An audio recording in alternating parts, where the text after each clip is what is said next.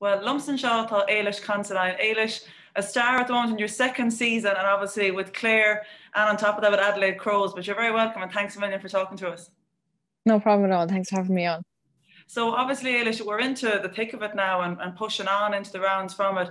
Obviously, you've settled in well from it. There've been good wins, and, and for yourself, I suppose you probably found a big difference in the second season now, and, and how more comfortable I suppose you are. Yeah, um, obviously getting back, we the Irish girls, all of us kind of had a very interrupted preseason in terms of not being able to get back in time and stuff. So initially getting back, it was um, a struggle to try and, you know, find routine and form and get back into, you know, the lifestyle I've been out here. Um, but I, I guess the last couple of weeks and as the rounds have pushed on and moved on, starting to feel a lot more settled um, in Adelaide and in, you know, the lifestyle of been getting back used to normality and, and getting back into the the training routine and and and the game. So um, yeah, round seven was last weekend, and and heading into round eight this weekend against Bulldogs. Um, obviously had a bit of a defeat last weekend against Melbourne. Um, so we're looking to try and you know make make that right this weekend against Bulldogs. But um, no, it's like settling into.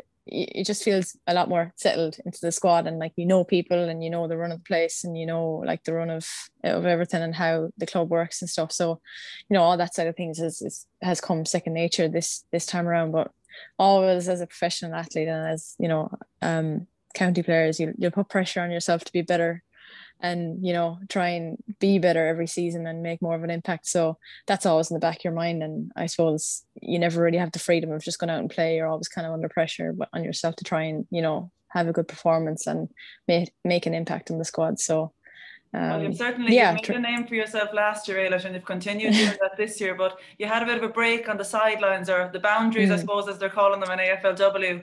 Um, how have you been since that um, head injury and that concussion?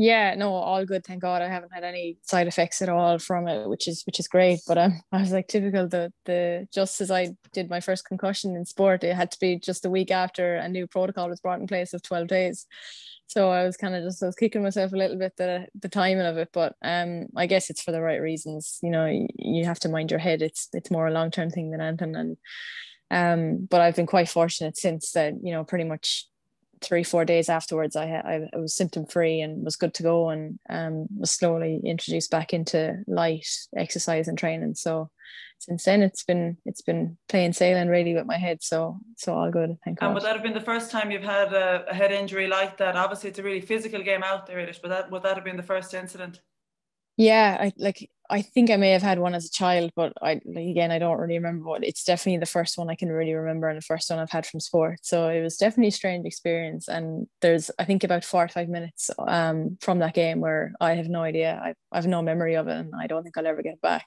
but um, so a very strange experience trying to piece everything back together again after the game and stuff and trying to remember um, what had happened and and where I was, that kind of thing. So yeah, um, strange experience. Sister would be familiar with from from rugby and on the international stage. For sure, sure you, for sure. You have a few examples, but to experience it yourself, maybe you can yeah. be in her shoes as well. Now you can you've more. Yeah, that's definitely yeah. Like I with her she used to get quite emotional with her concussions so like i would always see the side effects from her what she from what um she experienced but uh, luckily enough i didn't get too much of that um it was just the memory loss was the was the i suppose the scariest thing for me of just losing that that time in between where I've no idea. I was there in body but not in mind. And the coaches were funny because they were saying, because I asked them, I was like, what was I saying? Like, what was I doing? Like, was I normal or what? Like, and they were like, all you kept asking was, could I go back on? Could I go back on? Like, that was the only thing I'm saying to them. like, yeah, that sounds about right in fairness. a true football and attitude. Yeah, um, exactly. I suppose with the, the link in, you know, LGFA and obviously with the AFLW, what have you found, I suppose, has been a tough or was a tough change over when you started last season, Edith?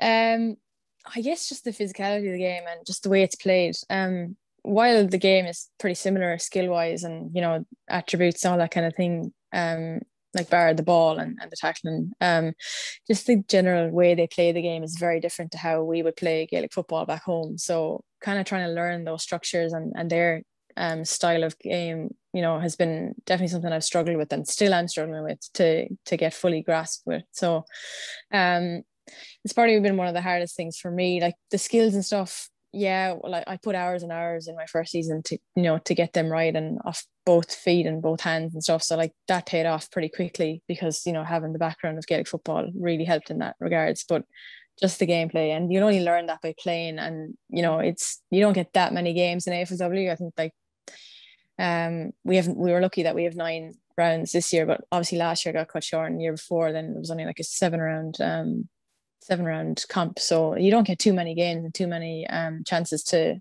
you know get exposed to the game and how how it's played. So um, just trying to quickly progress that learning is is hard and um, the plan is to actually stay and, and on and play the club league that runs here in South Australia um, for maybe a month or so after the AFLW and hopefully that will help with my you know development and learning of the game and you know gameplay and stuff. And did you play a game with that league? I thought I heard about that. Maybe yeah. Before you're coming back from the. Yeah. Yeah, I did. So once I was cleared to play and stuff, that was my first game back. Um, and I played with West Adelaide, who I'm aligned to for the South Australian League because it coincides. They run at the same time, which is actually a great thing for our squad because any of the girls that miss out on selection, they get an opportunity to play a, a game of football, which is you know it's vital at this time of year and stuff to keep freshness and keep match fitness. Um, so I was fortunate enough to play at Westies and we got our we got our first win of the of the SANFL. Um, and in fairness, the girls were lovely and the coaches, everything like they really got around me and they were really supportive because I literally walked into the change room and I didn't know it's like I knew one one of the girls um that played that plays with crows with me as well. But other than that, I didn't know a single girl. So um bit daunting to go into an environment like that, especially in a sport that you're not like overly comfortable with. Yeah. Um, but no, in fairness, they, they made it very easy and you know, um, really got around me, which was good. And there's obviously, I know with the, the singing at the end of the games, there's a brilliant yeah. spirit to be seen on and off the pitch. But what's yeah. it like, Ailish, from let's say dietetics? Like, are there dietitians there to support eating and for strength and conditioning? Do you feel there's just yeah. a jump in the professionalism of it? Oh, this is a huge, that's a huge jump. And this year with the cutbacks actually ended up being a good thing for us, you know, with COVID, all the cutbacks, um, because we've now got the men's S&C team. They're now working on both the men's and the women's AFL team with Crows. So like they, they're incredible. Like they, they just like it's they're so professional and they just know exactly how to get the best out of the girls. And it's so individualized. It's not just you know your general one for all program that you're handed out at the start of the year to work off. Yeah. everything is so individualized. You work towards your goal and, and that kind of thing. And even in the off-season programming you know second to none it was unbelievable. Like the fitness levels that i gained even in the off-season while i was at home. And it was solely because of the programs that they were sending me on. So like so fortunate to have that at our disposal. And it's just absolutely next level in comparison to what we'd have back home. It's you know ladies football or camogie mm. and yeah like there's there's dietitians like we we get our DEXA scans, our body fat percentage. We actually only had one last week just to, you know, keep everything on track and see how you're progressing throughout the season. Um, so yeah, it's very, very professional and like it's it's an absolute joy to to be in that environment and be part of it. And Ailish, you were mentioning that obviously when you went home, you were continuing on with training, but I know yourself and Eimear were doing a few gym sessions through the garage window. So you definitely made things work. You weren't going to be standing back idle. Yeah, I know I couldn't because I knew the girls out here were living a pretty normal life. So I knew that if I was going to come back and, and play for, for this season, that I had to come back in decent shape. And the pressure was on because like pretty much normality hit Adelaide um, probably May or June after that. So they had a really good run in at their their trainings and stuff. And I knew I was going to be a bit delayed coming back to Adelaide. So um, I always had that goal and that focus to aim for coming back. That you know I had to come back in some some shape or form. I suppose a tough decision to make of coming home and for all the Irish girls, I think, you know, there were five Irish girls out there in 2019, but obviously coming back last year it was it was a tough decision to make for you and I suppose with visas there seemed to be a lot of different issues to, to sort out. Yeah. Yeah, it was a tough decision to make in the end to actually go home to Ireland um because like it wasn't that bad over here. Like I had you know, I had my mother on the on the other end of the phone telling me how bad it was in Ireland and Europe and how bad COVID is, and I just didn't understand. I didn't know what she was talking about because we didn't have it over here in Adelaide, especially. Now there was bits in Melbourne and Sydney, but in Adelaide it was normality. That there was no real restriction, anything like that. So I didn't really understand the chaos. And then um, it, I only kind of started to understand when my first flight got cancelled home, and then my second one got cancelled, and then I was like, okay, maybe there is a bit of an issue here.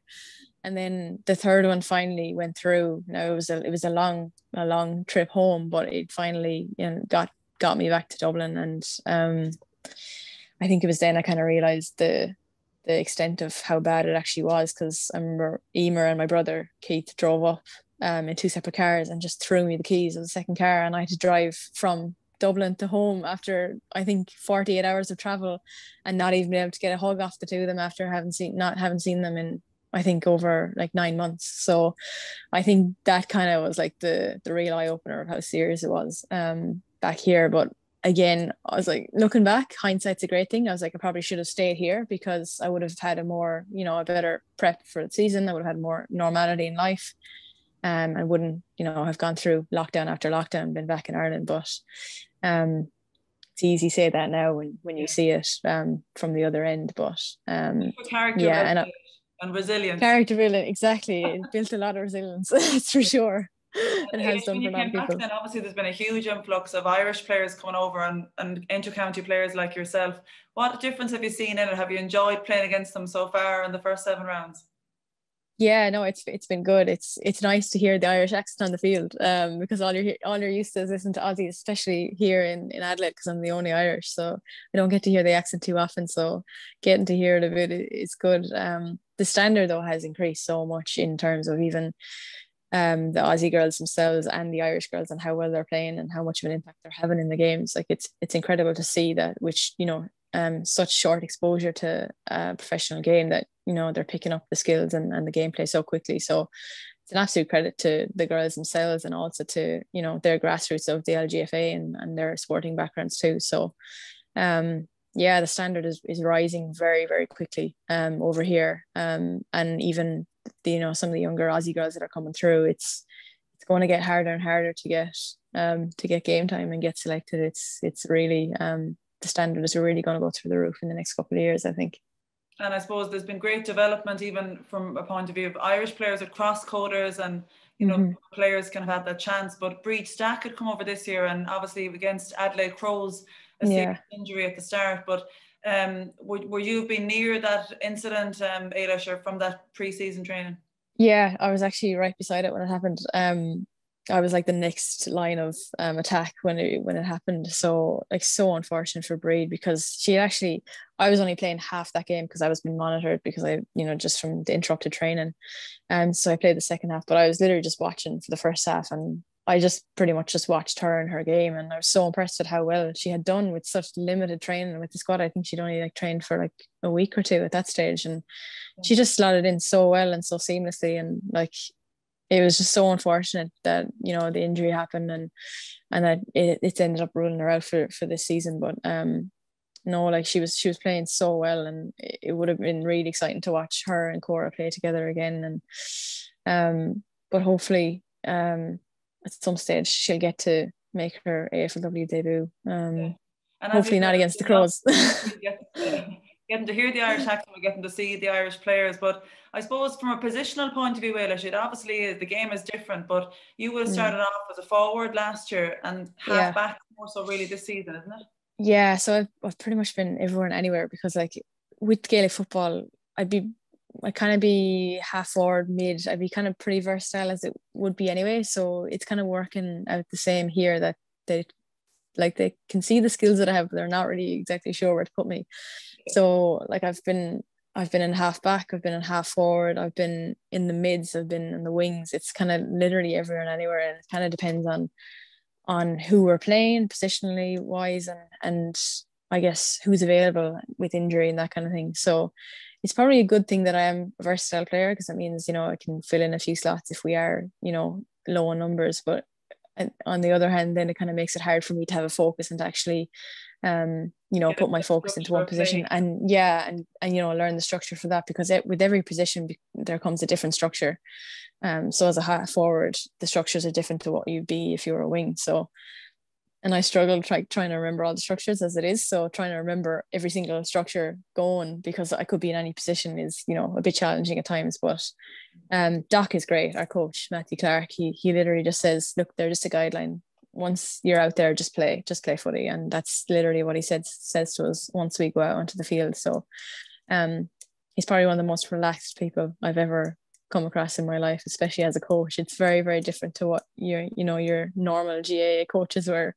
Yeah. They'd be um they'd be trying to rile you up inside the dressing room and you'd there'd be hurleys flying or there'd be tables been banged, that kind of thing. But yeah. no, Doc is very calm. He's a complete opposite. He kind of just wants you to go out there and enjoy it, which is nice. And I think that's working for you, Ailish, because you can see in the matches you're bursting through with pace, but maybe being relaxed is giving you that freedom to go and take it on. You know, you're well able to get the scores, but I suppose you're not feeling like you have to hang back. If you are in the halfbacks, it's still in a tackle role. Yeah. Yeah exactly. And like that's that's the thing about it. Like no matter where you are in the field you kind of have the license to you know just do whatever the ball decides to do because it's such an unpredictable game. Like the structures are there for a guideline but at the end of the day it's an oval ball. It's never going to bounce where it's supposed to bounce. So the, the game becomes very unpredictable. So you kind of just have to go with it and go with the flow of the game. And i guess that was something that i found a little bit weird and hard to um to go with initially but um getting there slowly but surely yeah. And Ailish, I know mathematically there's obviously all these different permutations of how to get into the last six and how to push through. Yeah. Melbourne, it might help. But I suppose has yeah. the focus always been from the beginning, you know, just what opposition is in front of you for that round and the end goal will kind of bring itself along. Is that still kind of the same message you're getting? Yeah, yeah, that's been pretty much what it's been for for um for our entire season. Like, uh, yeah, like you obviously, when the fixtures got announced for the final three, you kind of probably looked ahead a little bit because it was the first time, you know, we hadn't to wait each week for the fixture to be announced because of COVID. Um, so yeah, we, we probably looked a little bit ahead in terms of what was coming, but um, I think our major focus always has to be the game that's coming next because with the AFLW comp, it can be so unpredictable at times. Like you can you you'll play a team that you're expected to beat and they'll come out and they'll have an absolute like ripper game and you're just there and you're like wow we left that one behind us yeah. so like you can't really overlook any game that you're you're going into and like we like bulldogs have been going really really well in their last couple of games so and like traditionally they wouldn't have been a top 16 but they're going really well so we can't look past them at all and like the collingwood game is obviously our last game and we are a little bit under the pump in terms of trying to win the last two games to you know you know, get our final spot, but we can't look beyond this weekend because we need to get a win for this weekend. And then after that, then we'll we'll play it by ear and see where we sit on the table, and hopefully the numbers add up for us. And Ailish, as we've said, it's your second season out there, but what players have stood out to you, I suppose, are big names even from the Crows and then from the other teams that you've kind of found tough opposition, I suppose? Yeah, well, look, it's, it's hard to look past Erin Phillips. Like she's she's just an incredible athlete. Like I'm um, privileged to be able to play with her. Um, in fairness, like our squad is full of like brilliant players. Um, overall, so like it's such a hard squad to break into because there's so many like good players that are so underrated. But um, obviously Erin is just outstanding and is an outstanding athlete and stands out in every single game that we play. Like she'll just especially when you need her most, she'll come up with a goal or she'll come up with, you know, an amazing mark or something like that. She's just one of those players that you're just so fortunate to have on your team, and is a great leader um, on the field. Well, um, basketball professionally, wouldn't she? Or, yeah, yeah, she would have, and she played in the Olympics as well with with Australia. So um, she's Good pretty um high performer. Yeah, exactly. Yeah. Um, and obviously having Chelsea as well, our captain. It, you know, she's such a such a strong influence on the ground. Like you, you really notice when she's there. She's just she just she flies for most of the game. She doesn't even spend time on the ground. She just runs and jumps everywhere, and she just gets a hand in where she shouldn't. Yeah. Um, so like the two of them are just are leading from the front and always have and and always will. So, um, and then I guess Sarah Allan down back, she probably gets the least amount of recognition of our whole team, probably because she's back first of all, and secondly because she's just so laid back about everything that she does. It you know nothing is fancy she just gets like everything done and she's like an absolute rock behind at the back for us. So she's having a great season this year for us. Um she's really stepping up to the mark and she's she's still only pretty young at this stage. She's in her early 20s so yeah. she has definitely a big career ahead of her. Um and Ailish, so yeah, they probably been seen from in the play as well? You obviously get on well as a team, but through the middle, you're very strong, and it's just it's not mm-hmm. even like a worked out play. There just seems to be a great drive coming through, and a lot of pace and power that from the back yeah. Sarah Allan it's the same idea. Yeah like yeah we've absolutely like great midfield like Erin runs in and out of the midfield as well has been in the forwards and you've got Ebony Marinoff and and obviously Hatchie as well like the, the two of them are just a powerhouse in the mids. They get so many touches and disposals in the game. They're just constantly you know creating havoc for the other midfielders. So to have you know two of those and then Erin running in and the rest just at your disposal is it's incredible. Like it's they're like they, I can't speak highly enough of the entire squad because they're just like I just can't get over how committed and dedicated they you know and talented that they are. Like it's just it's a breath of fresh air to walk into that and be part of that. And you know, there's such genuine care for each other as well within the squad, um, not just you know in the um in the team, it's also outside of it as well. So you know that makes a huge difference to everything. You know if you've created a bond outside of foot, football as well you know it makes all the difference when you you know you actually step onto the field with each other as well. And there's been a big effort made i suppose just to, to help players settle in but especially to kind of celebrate players and even with the pride round the indigenous round yeah. like we've seen a lot i think of um, I suppose the continuity you're trying to push the game to new levels, like from a professional point of view, but definitely you're the only Irish out there, and you know you're saying you really feel part of it in the Crows. Yeah. There's kind of a separation of even nationalities there. Yeah, no, there's absolutely no separation at all, which is great. And um, even on that, like yesterday we had training and Chelsea organized um, like scrunchies and hats and paint face paint for St. Patrick's Day, all green stuff. Like I, it was just um it was just it, like it was so nice. Like, it actually made my day um, when I saw all the girls like having something green on them, whether it was just the face paint or having the scrunchies, or some of them were even in tutus, the green tutus. um, and like even our S&C coach had painted his beard green. Like it, just seeing that, like it, it was such a nice feeling, and like I was so appreciative that you know they made that effort to make me feel welcome on you know St Patrick's Day for a day to celebrate our Irishness and you know our culture. So it was it was really nice of them to do that and and feel part of that and feel like so welcomed that they you know and humble that they did that for me.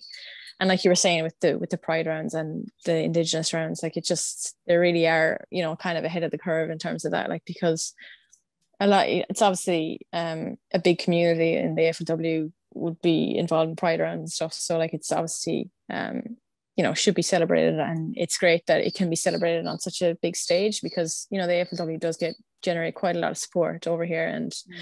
even back home now at the moment. So it's it's great to see that you know it's been publicized and especially with the indigenous round as well that you know they're celebrating their own culture as well. So um yeah it's great to see. four, um, there are four new teams this year in the AFLW have you seen that they've kind of come in to develop I suppose quickly or do you see there's still a good bit of a gap, you know, that they have to make up to maybe catch up to the Crows or teams. Yeah. Yes. So last year there there has been a bit of a there has been a bit of a gap, but it is starting to close because you know the the academies and underage AFL um academies are really starting to come. So the gap is closing. It's still a little bit there. It was probably a bit of a stretch to have four new teams in one season.